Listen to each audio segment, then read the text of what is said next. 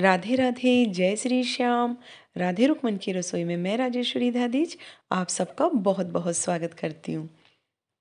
Friends, आज हम बनाएँगे फूल गोभी के पराठे, जिसको हम सर्व करेंगे दही, चटनी और आंवले की लौंजी के साथ में। और ये पराठे मैं आपको इस तरीके से बताऊँगी कि बिल्कुल भी फटेंगे नहीं, और देखिए, स्टफिंग भी कितनी बढ़िया से चारों तरफ़ से लग रही है एकदम। और इसको ऊपर रखेंगे हम मक्खन और मक्खन की और चटनी के साथ में इसको खाएँगे। तो ये बहुत ही ज़्यादा टेस्टी लगने वाले हैं। ये देखिए तो आ रहा है ना आपके भी मुँह में पानी। तो चलिए फिर इसको बनाना शुरू करते हैं। तो देखिए, इसके लिए मैंने यहाँ पर ये दो कप आटा ले लिया है और इसमें डाल दिया है स्वादानुसार नमक। अब इसका हम बिल्कुल सॉफ्ट डो बना के तैयार करेंगे। और आप चाहें तो इसमें ऑयल भी इस समय डाल सकते हैं, पर मैं नहीं डालूँगी। आप चाहें तो इसमें एक चम्मच ऑयल डाल दीजिए। और फिर देखिए थोड़ा थोड़ा पानी डालते हुए इसका बिल्कुल एकदम सॉफ्ट और लचीला सा डो बना के हमको तैयार करना है। अगर पराठे का डो थोड़ा सा लचीला होता है ना इस तरीके से तो पराठे की स्टफिंग बाहर नहीं आती है। ये आपका पहला टिप है।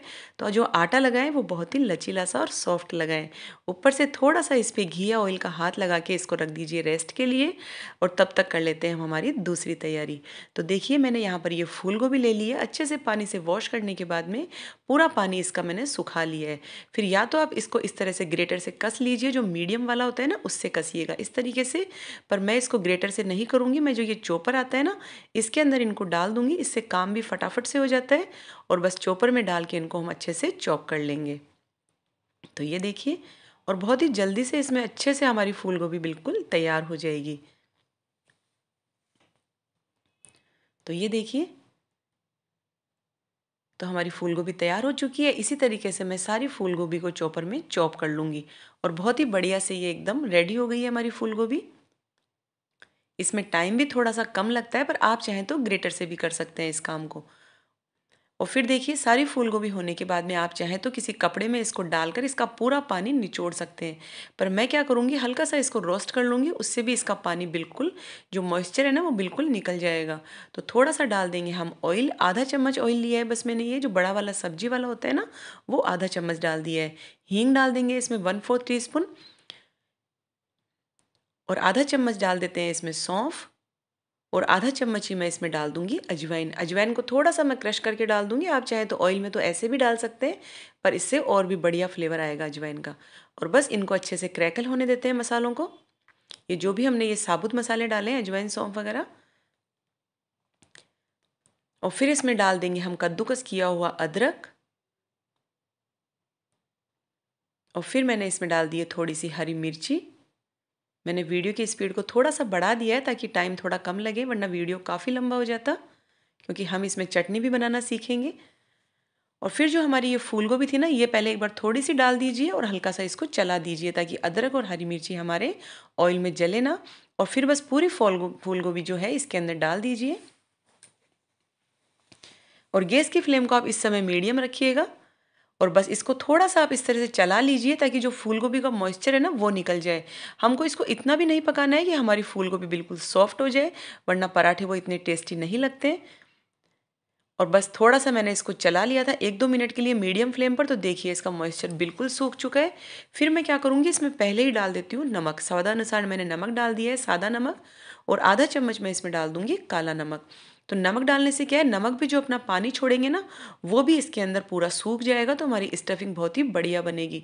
पहला तो क्या रहता है कि आटा हमारा बिल्कुल लचीला होना चाहिए। दूसरा क्या है स्टफिंग में अगर थोड़ा सा भी मॉइस्चर रहता है ना तो वो भी पराठे के बीच में से निकलने लगती है। तो हमारी स्टफिंग एकदम सूखी सूखी और बढ़िया होनी चाहिए। तो बस इसको मैं चला लूँगी फिर से यहाँ पर दो तीन मिनट के लिए। तो जो इसने पानी छोड़ा है, नमक ने अपना, वो भी पूरा नमक का पानी इसमें सूख जाएगा। तो इसको भी आप चला लीजिए दो तीन मिनट इस तरह से। और गैस की फ्लेम को स्लो टू मीडियम रखिएगा बिल्कुल। तो देखिए मैंने इसको चला लिया है। अब जो बाकी के जो भी हमको मसाले डालने हैं, वो डाल देते हैं। तो मैंने आधा चम्मच चाट मसाला पाउडर डाल दिया और वन फोर्थ टी स्पून डाल दिया इसमें अमचूर पाउडर। आप चाहें तो केवल चाट मसाला भी डाल सकते हैं, एक चम्मच, या केवल अमचूर पाउडर भी डाल सकते हैं। आधा चम्मच या उससे थोड़ा सा ज़्यादा, और फिर एक चम्मच मैंने इसमें डाल दिया है लाल मिर्ची का पाउडर। अच्छे से इनको भी मिक्स करते रहिए बार बार आप। और बस इसको मिक्स करने के बाद में फिर हम इसमें बाकी के मसाले डाल लेते हैं हमारे। तो मैं इसमें डालूँगी धनिया पाउडर। मैंने डेढ़ चम्मच ये धनिया पाउडर डाला है। ये आप इसमें ज़रूर से डालिएगा, इसका फ्लेवर इसमें बहुत अच्छा आता है। और बस इसको अच्छे से मिक्स कर दीजिए फिर से। और गैस की फ्लेम को स्लो टू मीडियम ही रखिएगा, वरना गोभी जो है ना वो ज़्यादा पक जाएगी। तो वो बढ़िया नहीं लगेगी बिल्कुल भी, हल्का सा क्रंचीनेस रहना चाहिए हमारी गोभी में। तो पराठे बहुत अच्छे बनते हैं। तो देखिए, हमारी जो स्टफिंग है वो बिल्कुल तैयार हो चुकी है। तो फिर बस पराठे की जान खूब सारा हरा धनिया इसमें डाल देते हैं। इसके बिना तो फ्लेवर बढ़िया आएगा ही नहीं इसमें बिल्कुल। तो खूब सारा हरा धनिया की मैंने पत्ती डाल दी है इसके अंदर। और बस इसको मिक्स कर दीजिए, गैस की फ्लेम को बंद करके स्टफिंग को कर लीजिए बिल्कुल ठंडा। इसको किसी प्लेट में निकाल दीजिए तो स्टफिंग जब बिल्कुल हमारी ठंडी हो जाएगी ना, तब भी वो पराठे के बीच में से नहीं निकलती है। तो इसको बहुत ही अच्छे से ठंडा करना है। फिर देखिए, मैं आपको बता रही हूँ, खट्टी मीठी चटनी, हम काचरी की चटनी बनाएँगे। ये पाउडर आपको ऑनलाइन भी मिल जाएगा या किसी शॉप पर भी मिल जाता है। तो मैंने इसमें तीन चम्मच काचरी का पाउडर ये ले लिया है।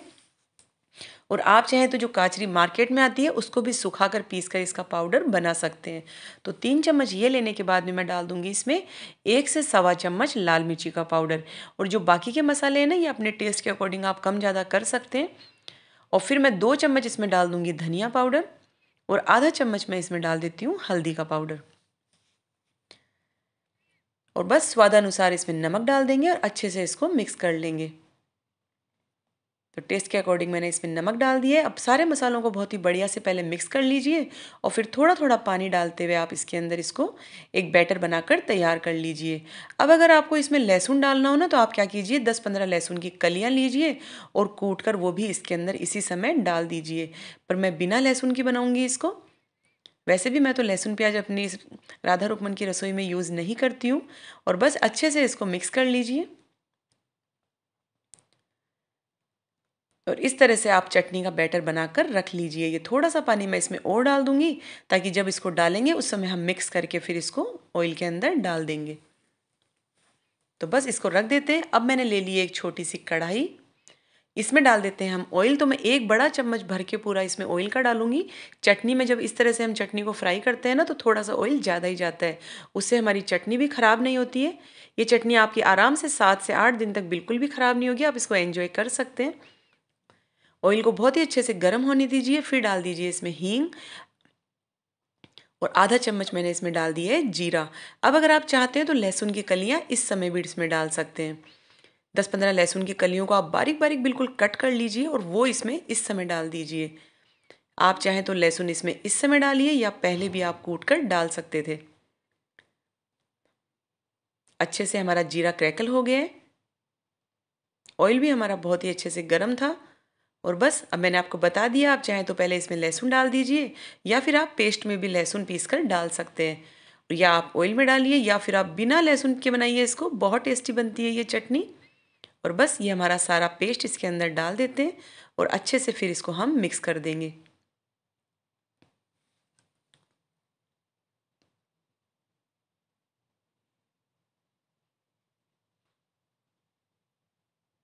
तो अच्छे से इसको मिक्स कर दीजिए ऑयल के अंदर।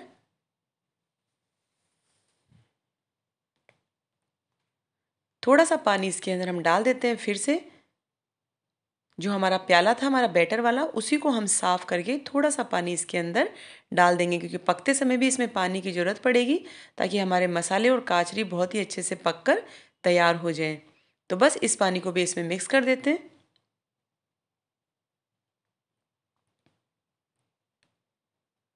तो ये देखिए।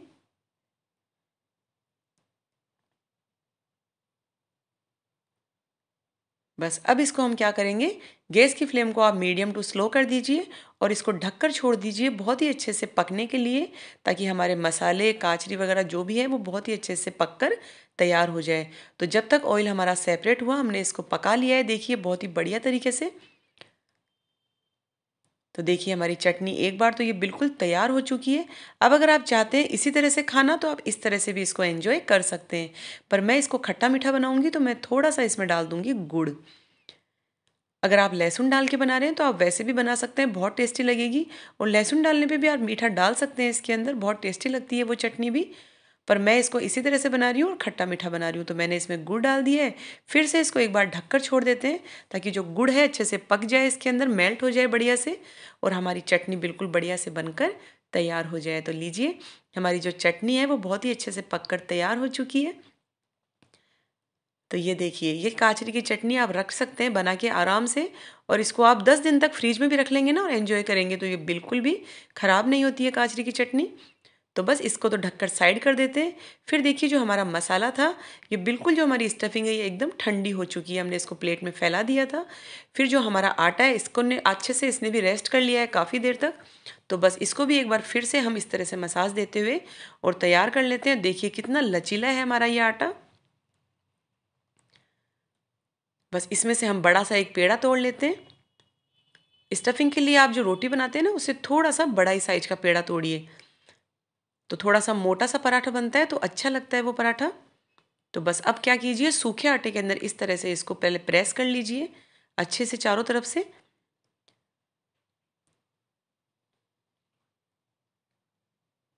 और फिर देखिए, इस तरीके से आप इसको अंगूठे से प्रेस करते हुए कटोरी नुमा एक शेप दीजिए, इससे क्या होगा, कॉर्नर्स जो है वो पतले पतले एकदम इसके ऊपर उठ जाएँगे और बीच का थोड़ा सा मोटा रहेगा। तो ये सही रहता है इस तरह से। अब आप चाहें तो इसके अंदर बीच में घी या ऑयल का हाथ भी लगा सकते हैं। मैं थोड़ा सा इसमें घी का हाथ लगा देती हूँ बीच के अंदर। बस इस तरीके से लगा दीजिए बीच में। अब जो हमारी स्टफिंग थी, वो इसमें डाल देते हैं खूब सारी। स्टफ़ पराठा है तो इस स्टफिंग बहुत ही अच्छे से भरिएगा इसमें। और बस इस तरह से कॉर्नर्स को उठाते हुए इसको आप अच्छे से पूरा पैक कर दीजिएगा। मैंने पहले भी आपको काफ़ी पराठे बताए हैं, आलू के पराठे भी सिखाए हैं, वो मैंने आपको इसी तरह से सिखाए कि स्टफिंग आप इस तरीके से भरेंगे तो स्टफिंग बिल्कुल भी बाहर नहीं आती है। और बेलने का तरीका भी मैंने आपको बताया था, मैं और बता देती हूँ आपको। तो बस ये हमारा पेड़ा तैयार हो चुका है। अब सूखे आटे में इस तरह से आप इसको प्रेस करते हुए फैलाते जाइए। जितना आप फैला सकते हैं ना, इसको फैला लीजिए। हाथों से ही। उससे क्या होता है ना स्टफिंग बाहर नहीं आती है और इवनली स्टफिंग पूरी चारों तरफ़ से अंदर फैल जाती है। अगर आप सीधा इसके ऊपर बेलन लगा के इसको बेलने लगेंगे तो या तो क्या होगा, वो बीच में हिस्सा छोड़ देती है स्टफिंग और कॉर्नर्स में निकल जाती है। या आपका पराठा फैल, फूट जाता है और स्टफिंग सारी बाहर निकल जाती है। तो आप ऐसा काम नहीं करें। इस तरीके से बनाइए, आपके पराठे बहुत ही अच्छे से बनेंगे। कभी भी वो पराठे आपके फटेंगे नहीं। बस आपका जो आटा है, वो एकदम सॉफ्ट होना चाहिए। अगर आटा आपका कड़क हुआ, स्टफिंग में आपके थोड़ा सा भी मॉइस्चर हुआ और फिर आपने उस पर बेलन से फटाफट से उसको बेल दिया तो फिर तो आपका पराठा फटेगा ही। तो बस इस तरीके से पराठे को बेलिए, एक कॉर्नर से बेलिए और दूसरे कॉर्नर के अंदर उसको इस तरह से बेलते हुए बेलन को लेते जाइए। तो बस हमारा पराठा बन के तैयार हो चुका है। तो ये लीजिए, हमारा पराठा बिल्कुल तैयार है। अब आप क्या कीजिए, जो नीचे वाला हिस्सा था ना, उस हिस्से को रखिए ऊपर की तरफ़ और ऊपर वाला हिस्सा कर दीजिए नीचे की तरफ़। उससे क्या होगा, आपका पराठा, आप देखिएगा कितना फूला फूला और कितना बढ़िया बन के तैयार होगा। और बस ऊपर की लेयर जब सूख गई थी थोड़ी सी, तब मैंने इस पराठे को पलट दिया और इस तरफ़ भी मैंने इस पर ऑयल वगैरह नहीं लगाया अभी। और अब मैं इसको फिर से पलट दूँगी। और अब आप लगाइए इस तरफ़ पे जो भी आपको बटर ऑयल घी वगैरह लगाना हो, आप उस पर लगाइए इस तरह से। और फिर देखिएगा आपका पराठा कितना फूला फूला बिल्कुल कचौरी जैसा बन के तैयार होगा। आप खुद देखिएगा अभी। तो मैंने इस पर एक तरफ़ से बटन लगा दिया है और अब इधर भी लगा दूँगी। तो देखिए, हमारा पराठा कितना फूल कर तैयार हो चुका है। बिल्कुल ऐसे लग रहा है जैसे कचौरी बना रहे हैं। ये देखिए। तो आप इस ट्रिक से बनाएँगे ना, जो हिस्सा चकले की तरफ़ होता है ना, नीचे की तरफ़, उसको हमेशा ऊपर की तरफ़ रखना चाहिए। और जो ऊपर वाला हिस्सा है, उसको रखिए आप नीचे की तरफ़। सिंपल पराठे भी आप बना रहे हो ना, फिर भी आप इसी तरह से बनाइए उनको भी। तो आपका पराठा बहुत ही अच्छे से फूल कर और बहुत ही बढ़िया सॉफ्ट पराठा बन के तैयार होगा। तो देखिए, हमारा पराठा बनके बिल्कुल रेडी हो चुका है। बस इसको करारा सा सेक लेते हैं थोड़ा सा। हल्का हल्का इसको प्रेस करते जाइए और करारा सेक के इसको तैयार कर लीजिए। और गैस की फ्लेम का आप ध्यान रखिएगा, कभी मीडियम और कभी हाई करते जाइएगा, वो आपके ऊपर है। बस पराठा आपका जलना नहीं चाहिए और देखिए कितना बढ़िया पराठा फूल रहा है एकदम, कचौरी की तरह। और कितना करारा सीखा है। बस इस तरह से करारे कराटे पराठे हो, गर्मा गर्म और सर्दी का टाइम हो तो फिर तो क्या बात है, मज़े आ जाएँगे। इसके साथ में कोई भी चीज़ की ज़रूरत नहीं है आपको और मैं आपको दिखाती हूँ, ये देखिए, कितनी स्टफिंग इसमें बढ़िया से चारों तरफ़ से फैली है। मैं आपको काट के दिखा देती हूँ पराठा। ये देखिए स्टफिंग बिल्कुल इवनली पूरे पराठे में एकदम एक जैसी फैली है चारों तरफ़ से। तो बस इस तरह से आप पूरे पराठे बना तैयार कर लीजिए। गर्मा गर्म पराठे और खाने वाले की थाली में ही जाए। तो उसकी तो बात ही अलग है बिल्कुल। और बस गर्मा गर्म पराठे के ऊपर रख दीजिए आप थोड़ा सा मक्खन, बटर, जो भी आप रखना चाहें। और साथ में रख दीजिए आप दही।